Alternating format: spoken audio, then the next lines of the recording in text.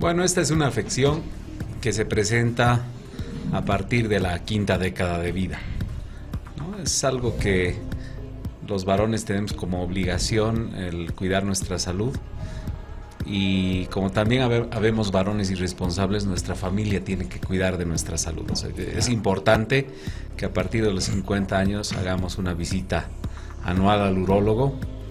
Esta visita este, consta de un examen clínico, un interrogatorio, un laboratorio que es el antígeno prostático específico y una ecografía.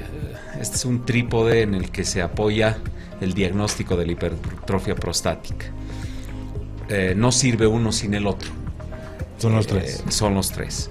¿no? Y básicamente eh, los hallazgos son clave, la presencia de síntomas obstructivos, principalmente un aumento en la frecuencia de la micción nocturna, que la conocemos como polaquiuria nocturna, un chorro de orina débil, diferente al que normalmente, al que normalmente nos hemos acostumbrado. Luego el deseo de miccionar inmediatamente después de haberlo hecho, que se traduce en una sensación de vaciamiento incompleto de la vejiga, es otra cosa súper importante. La ausencia de algunos síntomas como ardor, dolor al orinar, eso más corresponde al espectro de los síntomas irritativos y nos aleja un poco del diagnóstico de la hipertrofia prostática. Eh, la presencia de sangre en la orina también es importante.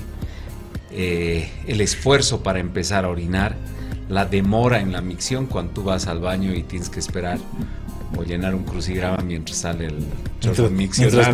Exacto.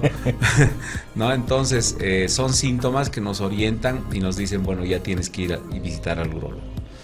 ¿No? Eh, en cuanto al laboratorio, el antígeno prostático específico que mucha gente ya, ya conoce, gente de tu área, los médicos clínicos nos ayudan bastante porque ya afortunadamente hay una conciencia, se ha, se ha globalizado mucho el uso del antígeno prostático específico, pero ojo, no podemos este, pensar que es todo el chequeo prostático el antígeno prostático específico, ¿no?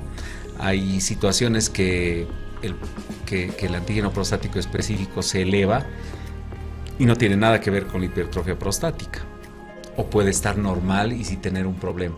Además, no te olvides que el antígeno prostático específico es un marcador tumoral, es una proteína que forma la próstata y que se libera en eh, cantidades exageradas en determinados procesos patológicos como inflamaciones en las prostatitis y primordialmente en el cáncer de próstata. O sea, ese es el valor principal del antígeno prostático específico. Tú haces un screening, haces un seguimiento de que simultáneo al chequeo de la próstata no se esté desarrollando más silente un cáncer prostático.